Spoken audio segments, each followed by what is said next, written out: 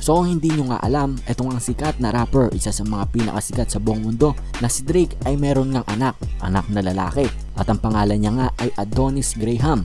At ito, sa video nga neto na in-upload ni Drake sa kanyang Instagram ay nanonood nga sila ng highlights neto ni Lebron James at tuwang-tuwa nga ang kanyang anak at namamangha. Ito, panoorin nyo. in the game take game-winning three.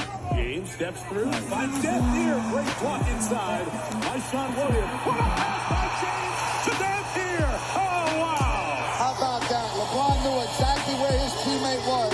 He made the steal and the pass all in one motion. With four seconds left, Butler denied by James. And Smith calls a timeout. Oh my god! To the top of the Okay. Here, it, here he comes. Oh, he- Timed it perfectly. No foul involved. Oh my god! Oh, At mukhang ang ginanahan ng anak ni Drake at ito, nag-practice na agad ng paglalaro ng basketball.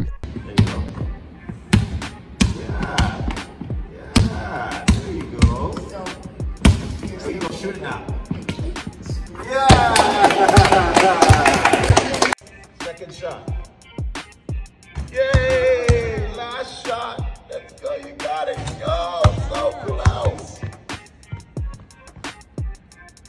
Good, right? I said no. Yep. First one. First one. Exactly. One. Two more.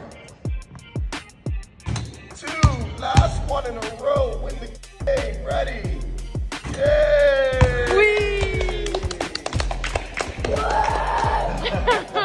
So yun nga lamang guys para sa video natin ngayon. If you guys like the video, make sure to like the video and if you not subscribe, syempre mag-subscribe na. Dahil everyday meron tayong mga NBA updates.